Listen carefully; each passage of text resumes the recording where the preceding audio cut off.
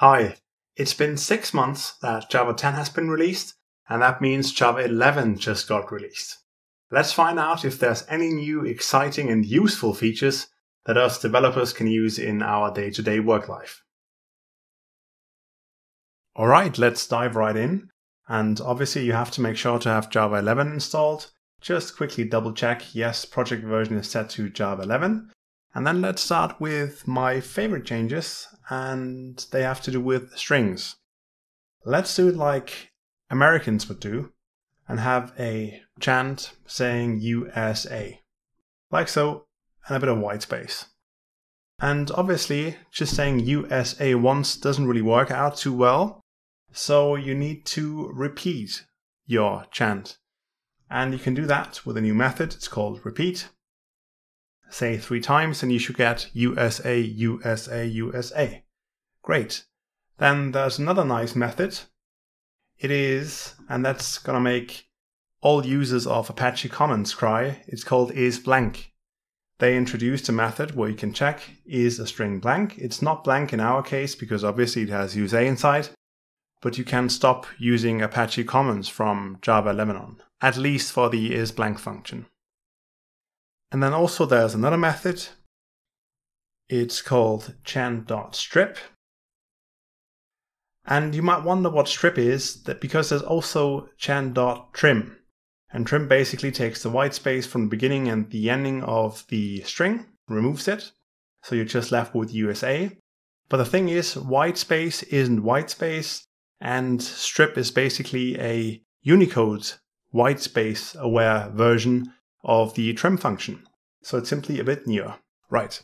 And then there's a couple of more methods. For example, you can turn a string that has line terminators, like backslash n or backslash r, into multiple lines, but I want you to play with that yourself.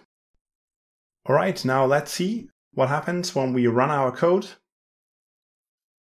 Takes a second, and then as you can see, chant repeat 3 USA, USA, USA. It's not blank, and when you strip the string down, it's just USA. Great. That's everything I want to say to strings. Now on to lambdas. It's one of the features you find most mentioned in blog posts about Java 11, which I find to be a bit, well, underwhelming. Imagine you have a consumer and it's a money consumer.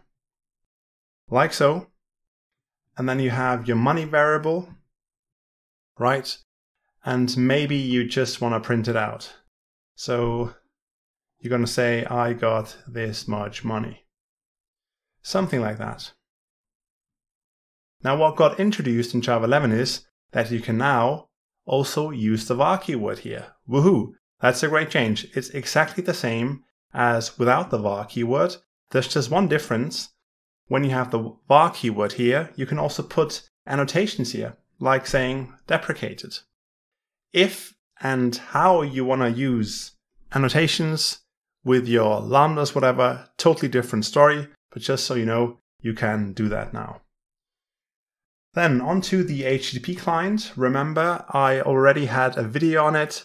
The HTTP client got introduced in Java 9, and now in Java 11 it's stable, so basically the API is ready to use. And that's why I'm not going to cover it here in full detail, but what I have is some code from my other video taken and as you can see, you can import these classes here, right? And everything it does is basically creating a new HTTP client, making a GET request to google.com, and then just sending the request, printing out the body, and then you can add the exception to the method signature. And just to double check, these are all java.net .http package classes, so there's no Apache HTTP client included or something similar. Now let's run that again, see what happens. And as you can see, you get some HTML back, which is the HTML of Google.com. Good. Now on to something which I like a lot, but it depends a bit on what you're working. Java 10 or Java 11 supports Unicode 10 because Java 10, and now it gets confusing, only implements Unicode 8. And then you have Unicode 9 as well, and um, Unicode 10, obviously. And Unicode 9 and 10 together have like 15,000 new characters. And with the latest Java 11, you can use all these characters. And I'm going to show you my favorite character here. So you just do a system out, and then you have the Unicode character. I want you to think about what that is. It has to do with cryptocurrencies, and we're going to run a program now to see what it is.